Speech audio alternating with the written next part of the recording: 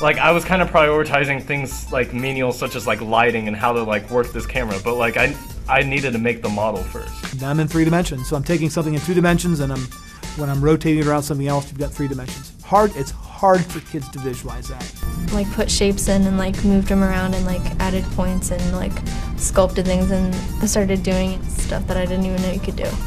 Problem with working in 2D is that um, you can see, for example, aspects right and left, but you cannot see what happens in the other dimension. So we talk about up, down, in, out, that type of thing, right and left. And it's very difficult to do when you're only talking about two dimensions. Before this, I was into PowerPoint, which is all like 2D, but worrying about another dimension that it's, it's so confusing. Math is an integral part of uh, virtual reality. The, the program that the kids learn is Blender, and they quickly discover that calculus, algebra, there's all kinds of math involved once you want to start getting detailed.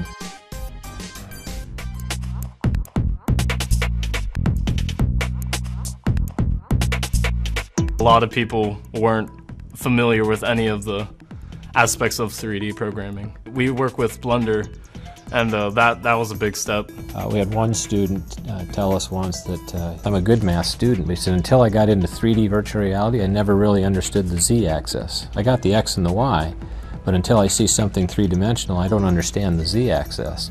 And so here, are students who are, maybe aren't in honors geometry, but are actually working at a very high level with uh, three-dimensional coordinate systems and uh, x, y, and z axes. This is like z-axis. I'm in using the z-axis and I'm rotating it. It's a pretty savvy understanding of transformations because uh, you not have to just recognize them, but you have to almost really understand how they work and be able to apply them.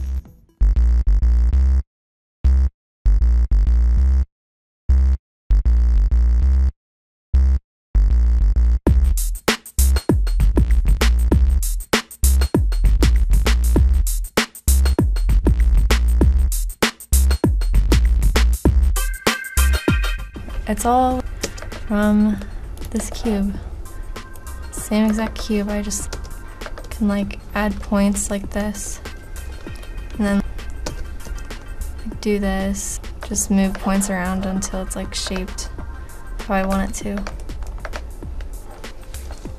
I see them trying to um, take an object and rotating it around an axis. I'm trying to create a sphere that you rotate it around and it becomes a whole sphere and now I'm animating it so where it'll duplicate some of it so it'll stay as one big sphere when it's done. To, to do a rotation that creates a sphere, you can take a semicircle and place it up against an axis or kind of a pole, and I would literally take that semicircle and just spin it around the pole or that axis, leaving a, a trail as it spun around that pole or axis that would create the sphere.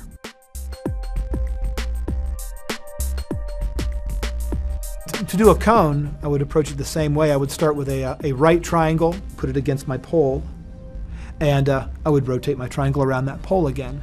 Um, that would fill up an area that looks like a cone.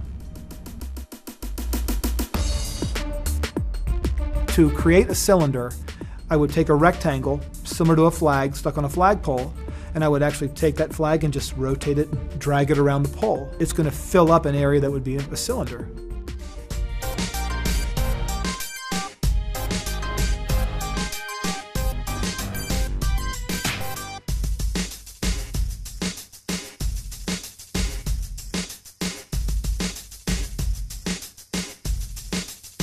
Well, hyperbolas, parabolas, you can rotate those things. And again, they're very hard to, to, visualize.